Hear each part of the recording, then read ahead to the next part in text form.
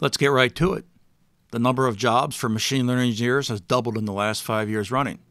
University of Texas recently predicted there are going to be 500,000 open roles for machine learning engineers by 2025. Why do the number of jobs keep increasing, and why are companies not filling these roles?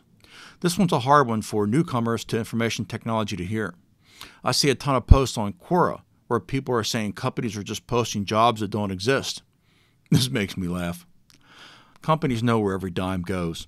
Posting and creating job recs is expensive. Companies don't post jobs for the hell of it. Ready for this one?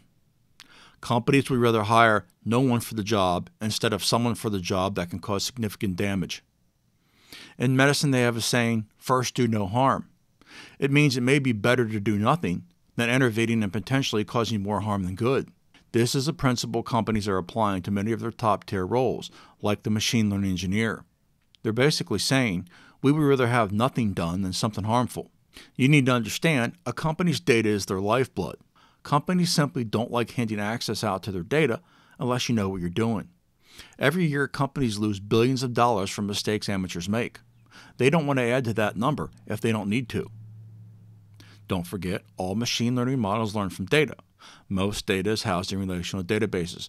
Databases speak SQL. If you don't have basic SQL skills, companies don't want you. Now, what does that mean for careers in machine learning? Simple. If you don't have basic data skills, you're going to be unemployed. Secondly, if you aren't coming from a data role, you're going to have a hard time attaining a role as a machine learning engineer.